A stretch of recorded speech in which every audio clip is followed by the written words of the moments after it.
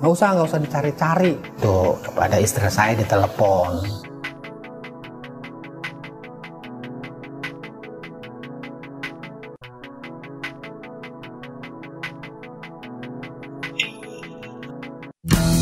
Waktu berlalu, namun titik terang terkait nasib 13 orang yang diduga menjadi korban penghilangan paksa pada tahun 1997-1998 kunjung jelas.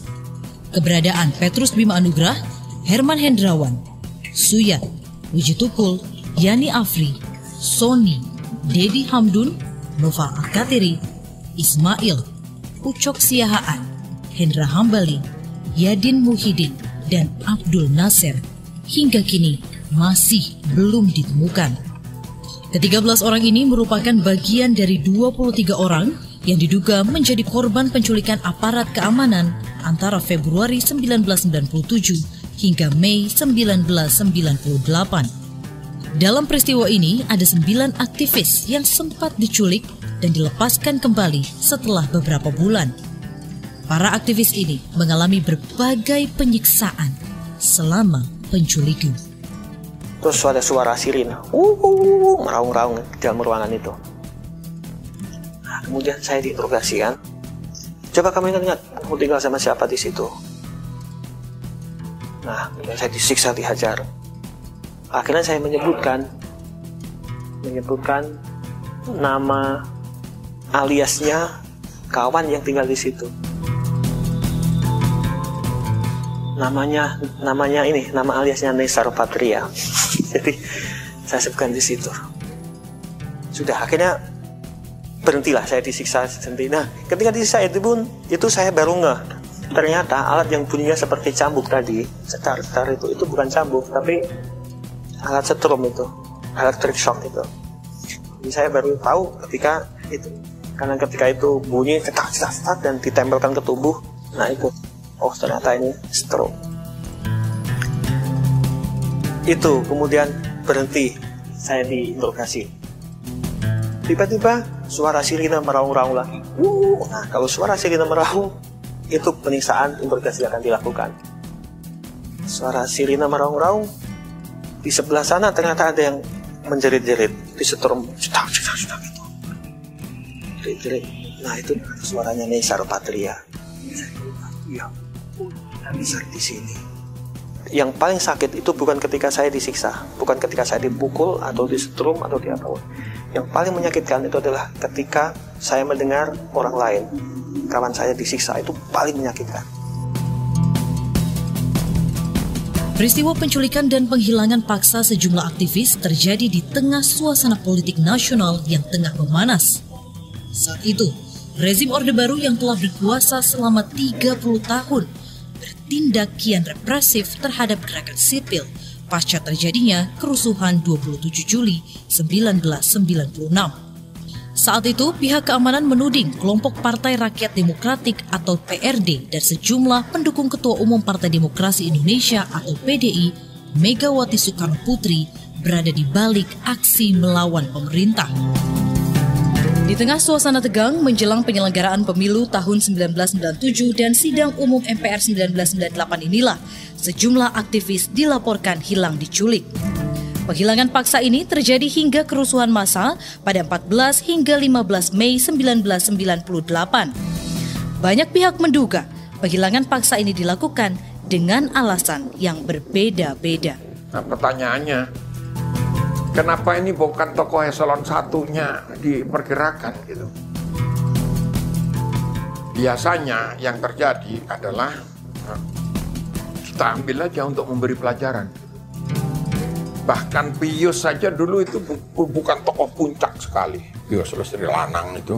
Nah, kadang-kadang ke oknum kekuasaan itu ada yang memanfaatkan, memanfaatkan ada ancaman uh, politis terhadap rezim, diculik, dia punya lawan pribadi atau punya kepentingan pribadi, kepentingan ekonomi dan sebagainya.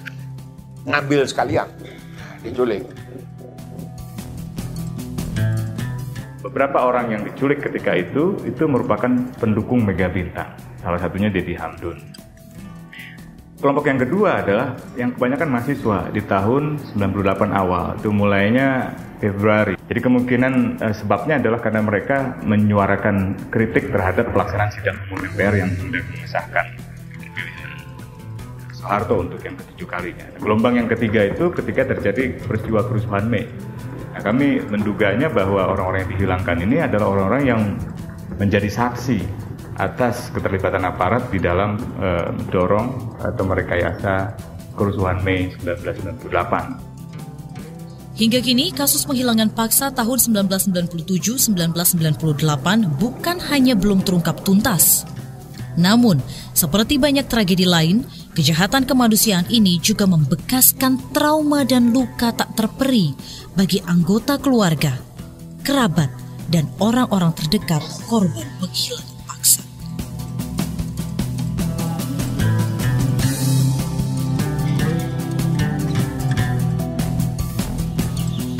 Berdoa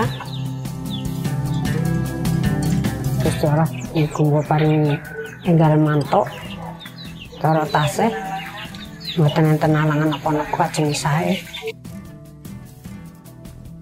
Inilah sepenggal harapan yang selalu diungkapkan Tamiem, ibu kandung Suyat. Perempuan tua ini tak lelah menanti kepastian nasib anak bungsunya yang sudah 18 tahun hilang dan tidak jelas keberadaannya.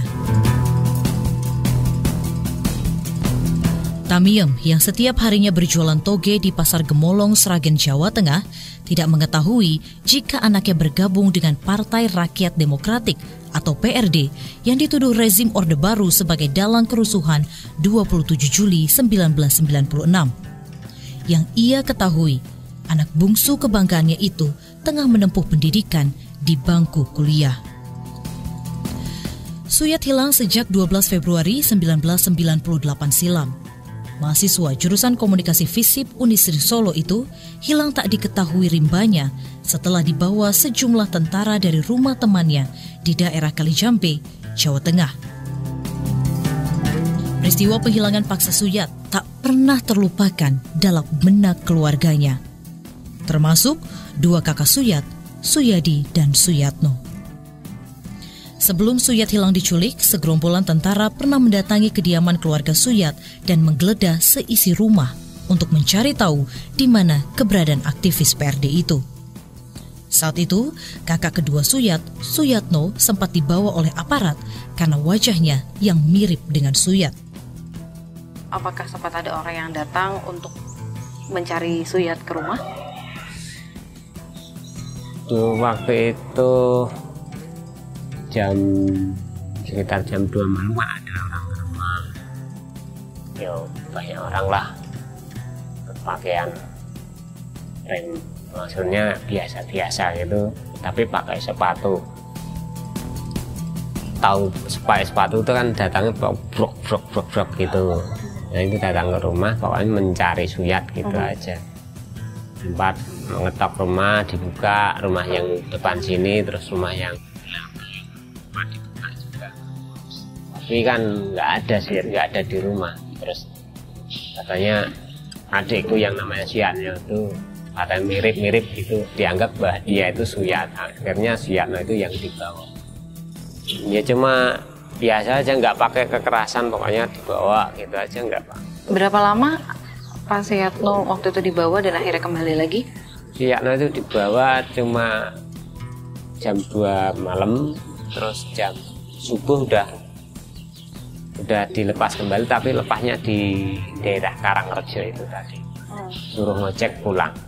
Apa yang itu. diceritakan ya ya waktu dia di apa katanya di matanya ditutup terus dibawa ke Solo terus di suruh nunjukin sia di mana gitu. Akhirnya dia me, apa menunjuk rumah temannya yang ada di kali desa itu dekat situ terus daerah pokoknya daerah kecamatan Kali Jambi akhirnya dia ketemu di situ. Terus ketemu situ siap dibawa terus adikku dilepas di desa Karangrejo itu tadi. Hilangnya Suyat membawa perubahan besar pada keluarga, terutama pada kondisi psikologis pada sang ibu, orang yang paling dekat dengan Suyat.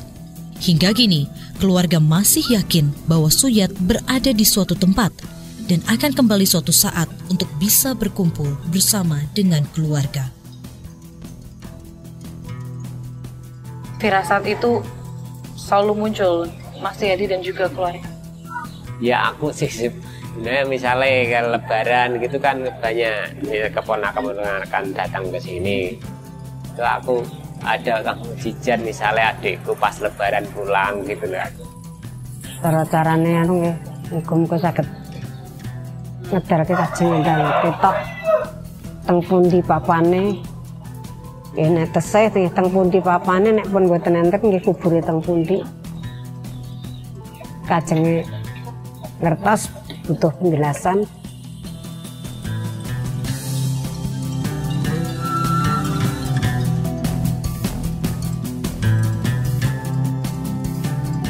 Meski sudah 18 tahun berlalu, kesedihan dan rasa kehilangan juga masih dialami Payan Siahaan dan Damaris Huta Barat, kedua orang tua Ucok Munandar Siahaan, mahasiswa Perbanas Jakarta yang hilang menjadi korban penghilangan paksa. Menurut ayah Ucok, Payan Siahaan, peristiwa penghilangan paksa yang dialami putranya sangat mempengaruhi kondisi psikologis ia dan istrinya. Waktu itu kan dia sedang semester 6 ya, artinya kan uh, kita menganggap bahwa uh, sebentar lagi kita akan uh, menyelesaikan dan mengambil buahnya, kira-kira begitulah posisinya ya. Tetapi dengan berhilangnya dia, artinya itu kan uh, ada ada uh, ter, apa ada uh, bencana lah berat terutama kepada istri saya ya yang yang tahu persis kondisi anaknya terus mana dia hubungannya dengan seorang ibu dan eh, secara psikologis sebenarnya yang paling berat yang tidak bisa uh, diselesaikan dengan apa pun kalau hanya yang bisa menyelesaikan itu ya kalau dia kembali atau kita ketahui keberadaannya Ucok, yang hingga kini belum diketahui keberadaannya, terakhir kali terlihat di rumah kosnya di Ciputat, Tangerang, Banten pada 14 Mei 1998.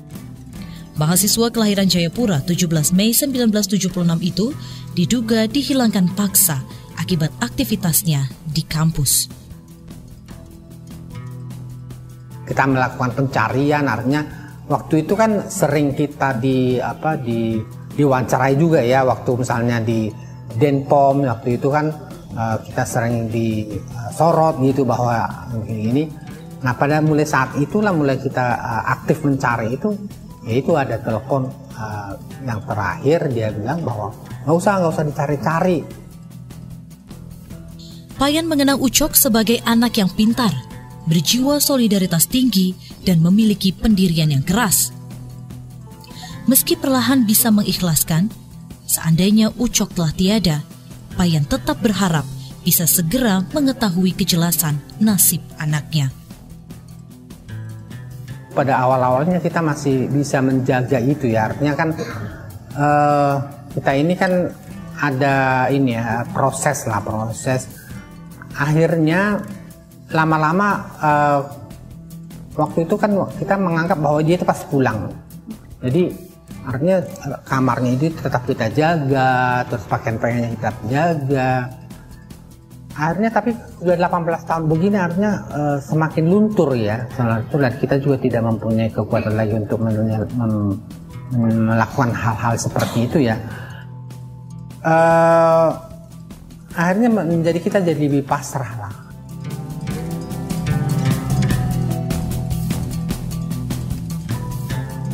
Selama bertahun-tahun, berbagai upaya telah dilakukan Payan dan keluarganya untuk mencari keberadaan Ucok.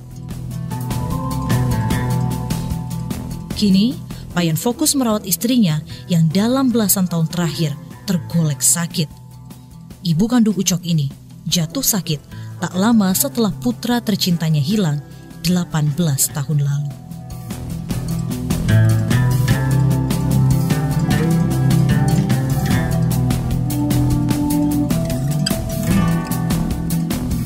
Berbeda dengan sembilan aktivis yang dilepas kembali dalam kondisi hidup. Leonardus Nugroho Iskandar alias Gilang, seorang pengamen yang kerap ikut dalam aksi-aksi demonstrasi yang diorganisir PRD, justru ditemukan dalam keadaan tewas dengan perut tertembak. Sebelum jenazahnya ditemukan di Magetan, Jawa Timur, pemuda asal Jebres, Surakarta ini sudah dilaporkan hilang oleh keluarga dan teman-temannya. Gilang hilang setelah berpamitan kepada ibunya untuk bekerja di Madiun, Jawa Timur. Waktu itu sebelumnya Gilang sempat hilang dulu kan Bu. Itu kapan ya Bu ya waktu itu? Itu waktu hilang tuh tanggal 20 eh 21. Itu jadi Itu 9 ya 98. 98. Iya pas penurunannya Pak Harto itu. Memang oh, waktu 22 itu karena anak saya itu kan setiap mau pergi itu bilang Mbak sama saya. Bu, saya mau pergi ke sana, ke sana. Gitu bilang. Waktunya dia juga ngasih sendiri. Saya nanti jam segini pulang Bu. Kalau saya nggak pulang, tolong dicari. Karena dia sendiri mungkin tahu ya, tahu gimana gerak-gerik apa aparat atau gimana mencurigai dia. Dia tuh keluar, keluar. Terus dia bilang pulang waktu dia keluar itu terus pulangnya itu bilang, Bu, saya mau diajak teman kerja Bu, cari kerja Bu. Mana? Kemudian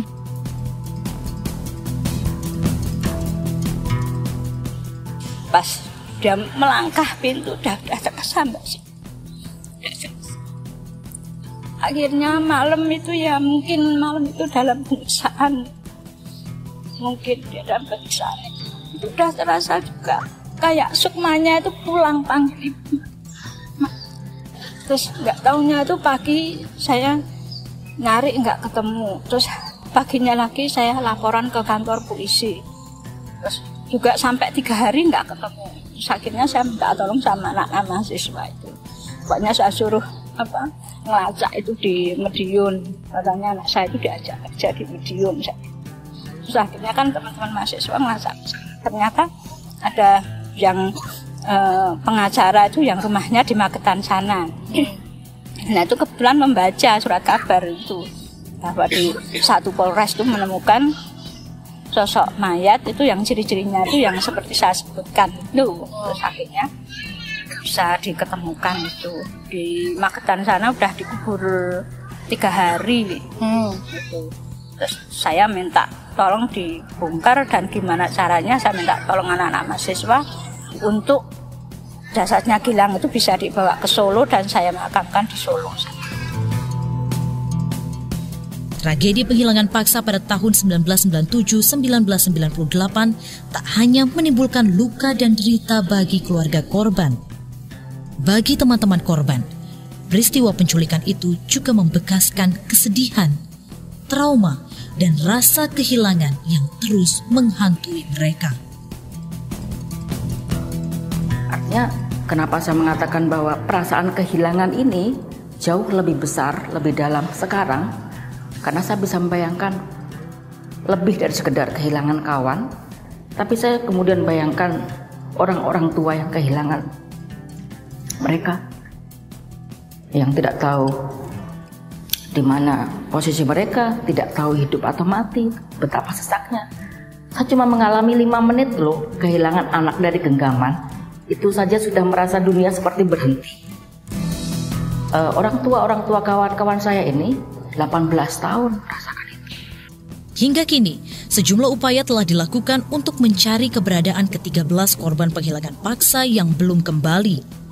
Namun, banyak pihak menilai upaya pencarian itu belum maksimal dilakukan karena belum menyasar kalangan dan orang-orang tertentu yang diduga mengetahui tragedi penculikan tersebut. Yos Trilanang itu adalah yang bersaksi bahwa ketika dia disekap, dia berkenalan dan mendengar seseorang yang menyanyikan lagu Widuri di sel itu. Hmm. Dan itu adalah Herman. Indrawan. Artinya Herman Indrawan sama Yos berada di ruangan yang sama. Yos dilepaskan, Herman sampai sekarang tidak. Hmm. Itu juga yang kemudian membuat saya uh, uh, menolak kesaksian Prabowo misalnya mengatakan. Prabowo mengatakan bahwa saya ini yang menangkap sembilan orang Hmm. hanya sudah saya lepaskan. Jadi kalian harus berterima kasih kepada saya. Kan ada juga statement-statement seperti itu. Mhm. Itu yang pertama yang harus kita argue adalah tidak benar bahwa kau hanya menculik 9 orang karena pada kenyataannya ada Mhm. teman juga yang berada di tempat Oke. yang sama dengan orang-orang yang yang dia culik. Tapi eh, saya juga memperkirakan pihak pelaku juga nggak akan berhenti berusaha untuk berlindung di balik itu. Siapa yang mau ngaku? Ya dulu saya yang bunuh orang itu, saya mah anu.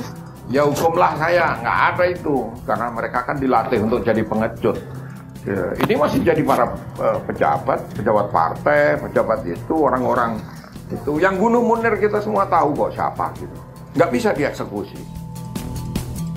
Sidang kasus penculikan di pengadilan militer memang telah memvonis bersalah 11 anggota Kopassus yang dianggap bersalah karena mengaku melakukan penculikan 9 aktivis yang sudah dilepas.